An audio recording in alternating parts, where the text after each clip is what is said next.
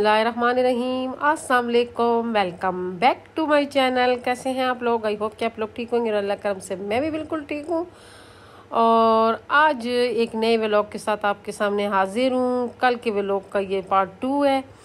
और किचन में आई हूँ अब जहीद के लिए चाय बनाने। जहीद बहुत थक गए हैं। और ये आप लोग को सिंह दिखा रही हूँ। सिंह को मैंने कैसे चमका दिया है। मैंने ये किचन बहुत मामूली सा किचन बनाया है और मतलब आर्जी सोच लो कि एक आर्जी सा किचन बनाया है बाथरूम बनाया है।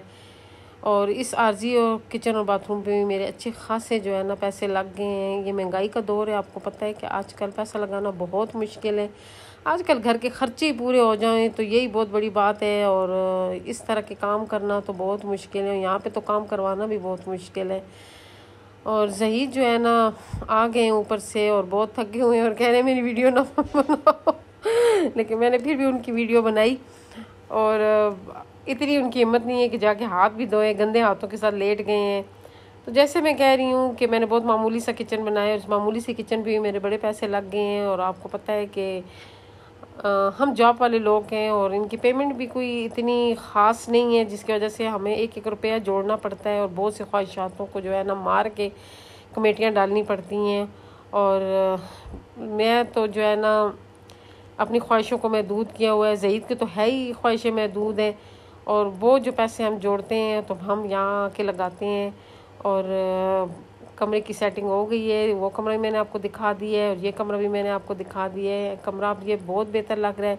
इसमें शुकेस और अलमारी बिल्कुल भी अच्छी नहीं लग रही थी, क्योंकि ये हम ड्राइंग रूम के तौर पे यूज़ करते हैं और आपको पता है ड्राइंग रूम में ये चीज़ें अच्छी नहीं लगती हैं और आपको मेरी आदत का भी पता है कि मेरी ऐसी आदत है कि मैं जो है ना थोड़ी सी डिप्रेशन की मरीज़ हूँ तो जो मुझे कुछ चीज़ एक जगह पे बुरी लग रही होती है तो फिर मैं जान मार के वो चीज़ उधर से हटाती हूँ।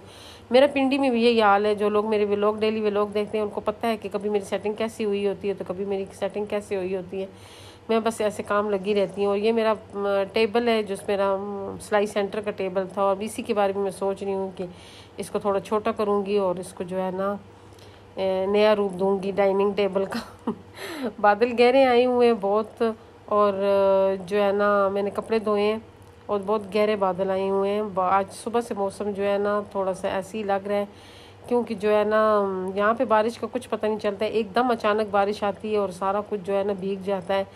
तो मैं सोच रही हूँ कि कपड़े भी अंदर ले जाऊँ, इससे पहले कि बारिश आ जाए, और साथ साथ मैं खाना बना रही हूँ। आज मैंने टमाटर पहले ही डाल दिए हैं सालन में, क्योंकि जो है ना, टमाटर कुछ ऐसे हैं कि ये जल्दी गलते नहीं हैं और दूसरा यहाँ पे मेरे पास चॉपर वगैरह भी नहीं है। क्योंकि मैं तो अभी नई सेटिंग कर रही हूँ तो आहिस्ता आहिस्ता सब कुछ यहाँ पे होगा। इतनी जल्दी तो नहीं हो सकता है। अभी भी मैंने बहुत कुछ किया नहीं तो दो घरों को मैनेज करना बहुत मुश्किल होता है कि मेरा पिंडी में भी घर है और इधर भी घर है। ये दोनों घरों को जो है ना मैनेज करना बहुत मुश्किल है इस महँगाई के दौर में। तो मेरी कोशिश यही होती है कि मैं उस घर के लिए कोई नई चीज़ ले आऊँ तो वहाँ से पुरानी चीज़ें उठा के इधर ले आती हूँ। इंसान जब थोड़ा थोड़ा करता है तो इन जो है ना हो जाता है। बस इंसान को हिम्मत करनी चाहिए। तो ये ये हमारे किचन के बिल्कुल सामने अंजीर का पौधा लगा हुआ है। ये पहाड़ी अंजीर है, ये छोटे साइज़ में होते हैं। लेकिन इस पौधे ने मुझे बहुत तंग किया हुआ है, ये इतना गंद डाल रहा है और दूसरा, जब ये बहुत तादाद में गिरते हैं तो फिर ये जो है ना, स्मेल भी बहुत करते हैं।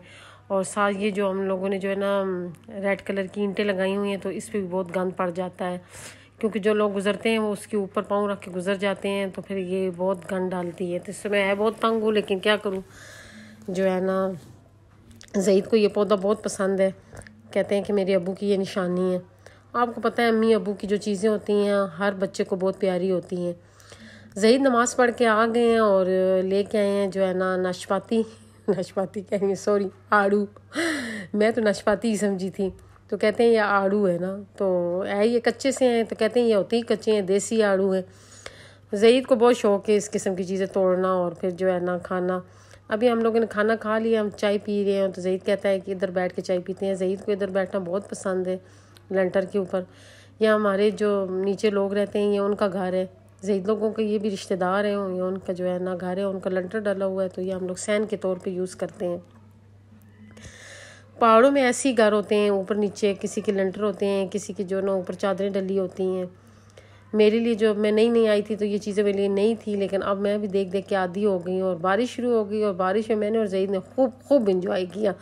क्योंकि आप लोगों को पता है हम लोग पिंडी से आए हैं और पिंडी में आप तंग गलियाँ और छोटे घर और इतने जो है ना, हम लोग गर्मी के मारे होते हैं जब हम यहाँ पे खुली फ़ज़ा में आते हैं तो फिर हम लोग खूब इंजॉय करते हैं। और इसीलिए जो है ना, अक्सर मैं गर्मियों में आती हूँ छुट्टियाँ गुजारने, क्योंकि जो है ना, बहुत सी घर में टेंशनें होती हैं तो कुछ जईद भी बीमार हैं, कुछ उसकी टेंशन है तो हम अपने आप को रिलैक्स करने के लिए इधर आते हैं।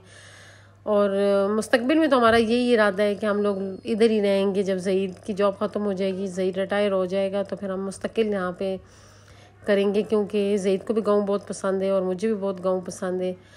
मुझे इसीलिए पसंद है कि जईद को पसंद है और जहाँ पे जईद होंगे, मैं वहीं पे होंगी। मैं तो जईद के साथ हूँ। जईद की वजह से जो है ना, मैंने ये गाँव देखा है और जईद अगर कहता है, ये मेरा घर है तो मैं कहती हूँ हाँ ये मेरा घर है। अगर जईद कहता है कि, ये मेरा गाँव है तो मैं कहती हूँ हाँ मेरा भी गाँव है। जईद के साथ मेरी यहाँ पर बहुत सी यादें हैं। और जैसे ही मैंने छतरी यहाँ पर रखी है तो छतरी हमसे उड़ गई। और उड़ते उड़ते वहाँ जाके गिर गई। फिर मैं वीडियो नहीं बना सकी क्योंकि वो मैं पहले छतरी के पीछे मैं ही भागी थी मोबाइल को सीढ़ियों पे रख के। फिर मुझसे तो वो इतना भागा नहीं गया तो फिर जईद भाग के गए और अगर भाग के ना जाते तो ये बहुत नीचे तक चली जाती क्योंकि यहाँ पर पहाड़ है। हवा से चीज़ पता नहीं कहाँ से कहाँ चली जाती है। और जईद खूब भीग गए। आज फिर बारिश का खूब मज़ा जईद ने भी लिया है, मैंने भी लिया है। तो जो है ना मुझे हँसी भी बहुत आ रही थी। ये बहुत खूबसूरत लम्हा था और हम दोनों ने बहुत इंजॉय किया। और क्योंकि हम लोग कितने दिनों से बारिश का इंतज़ार कर रहे थे कि बारिश आए, कि हम लोग पिंडी से गए थे तो बहुत गर्मी थी पिंडी में, बहुत शदीद गर्मी थी। यहाँ गए हैं तो वैसे हमारी सोर्सेज नहीं है जईद की जॉब है, नहीं तो गर्मियाँ तो बंदा वहीं पे गुजारे क्योंकि यहाँ तो इतनी पिंडी में गर्मी है, वहाँ तो इतना अच्छा मौसम होता है और जईद फुल भीग गया है।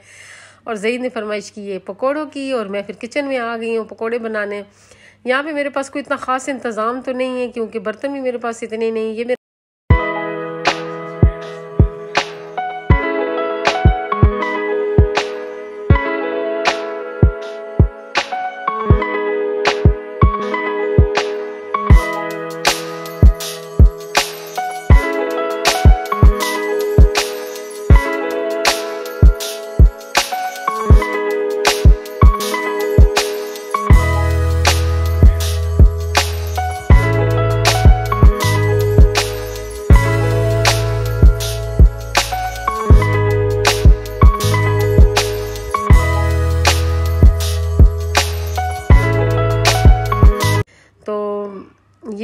कुछ सामान हम खाने पीने का साथ लेके जाते होते हैं, क्योंकि अगर हम ज़्यादा दिन का, वैसे तो हम जाएँ तो मैं अपनी जिठानियों के घर ही होती हूँ। मेरी माशाल्लाह से वहाँ पे तीन जिठानियाँ रहती हैं और तीन ही बहुत अच्छी हैं और बहुत इज़्ज़त मेरी करती हैं। हालाँकि वो मेरी जिठानियाँ हैं, मुझसे बड़ी हैं, लेकिन वो बड़ी होकर मेरी बहुत ज़्यादा इज़्ज़त करती हैं। मैं जब भी गई, उन्होंने, तीनों ने मेरी बहुत इज़्ज़त की है। तो लेकिन ये कि मैं जब ज़्यादा दिनों के लिए जाऊँ तो फिर मैं अपने चीज़ें चीज़ें साथ लेके जाती हूँ कि जईद को बहुत शौक़ होता है कि मैं गाँव में खाना पकाना करूँ। असल में जईद को ये टेंशन थी कि पता नहीं मैं गाँव में रहूँगी, नहीं रहूँगी, मैं शहर की हूँ पता नहीं मैं एडजस्ट कर पाऊँगी या नहीं कर पाऊँगी। तो फिर इस वजह से जो है ना, उसको यकीन दिलाने के लिए फिर ये सारे काम मैं करती हूँ। कभी आग जला रही होती हूँ तो कभी जो है ना, उसे खाना पकाना पका के देती हूँ।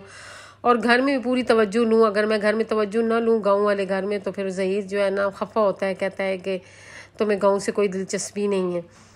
तो फिर ये क्या आपको पता है कि हस्बैंड के लिए सब कुछ करना पड़ता होता है। और जईद जो है ना, आपको पता है कि आप लोग जो डेली व्लॉग मेरे देखते हैं, उनको अच्छी तरह पता है कि जईद की तबीयत ठीक नहीं रहती है। और डॉक्टर ने हमें कहा हुआ है ज़्यादा से ज़्यादा इसको खुश रखें। तो मेरी कोशिश होती है कि मैं इसे ज़्यादा से ज़्यादा खुश रखूँ, मैं इसको टेंशन वाली बात ना करूँ। मैं माली टेंशन भी उसके साथ शेयर नहीं करती होती हूँ। मैंने कभी भी ये नहीं कहा है कि मैं ख़ुद टेंशन ले लेती हूँ, मैं कहीं ना कहीं से अरेंज कर लेती हूँ, लेकिन मैंने कभी जहीद से नहीं कहा है कि जो है ना, मुझे कोई टेंशन है, माली टेंशन है।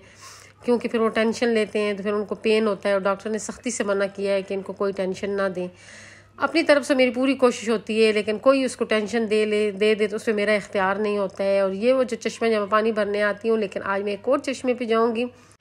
वो बहुत खूबसूरत और नया चश्मा है। वो जो बच्ची मेरे साथ गई थी, पानी भरने हम गए थे तो वो भी मेरे साथ गई थी। तो उसने मुझे कहा कि आंटी, हमारा ऊपर भी एक चश्मा है। और वो मेरी जेठ की बेटी थी, वो बता रही थी कि वो ऊपर हमारा एक और चश्मा है और वो कहती है कि वो है ही हमारा, हम लोगों का है।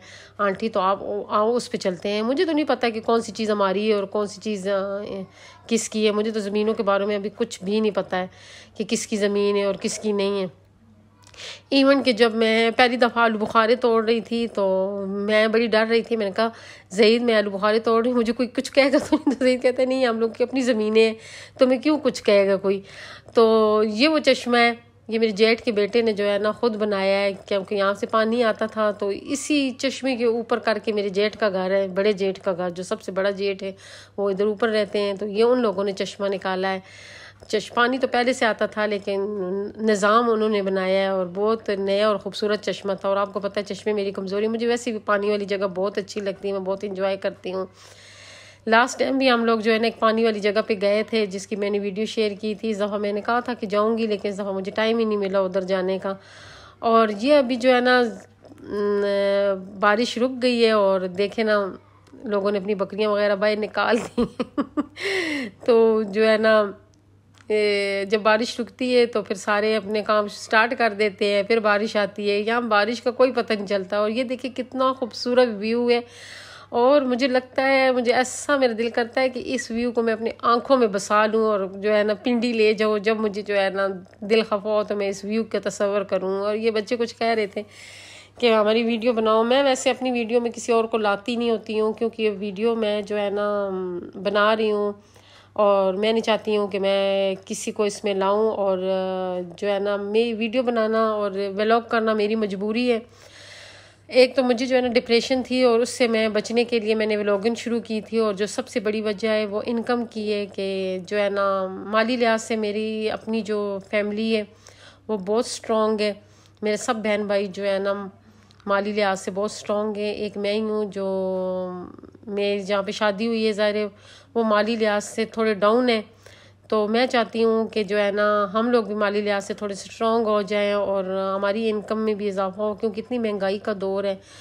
तो जो है ना, तब मैंने यह काम शुरू किया और जईद से मैंने बात की है तो जईद मुझे कहता है हाँ कर लो। और मैं उनकी इजाज़त से ये काम कर रही हूँ। इन, उसमें इनका जो है ना पूरी पूरी मर्ज़ी शामिल है। आपको पता है कि हस्बैंड की मर्ज़ी के ख़िलाफ़ बंदा कोई काम नहीं कर सकता है तो जहीद की पूरी पूरी मर्ज़ी शामिल है और उनकी मुझे फुल इजाज़त है। उन्होंने तो मुझे सामने आने से भी नहीं रोका है, लेकिन सामने मैं ख़ुद नहीं आना चाहती हूँ।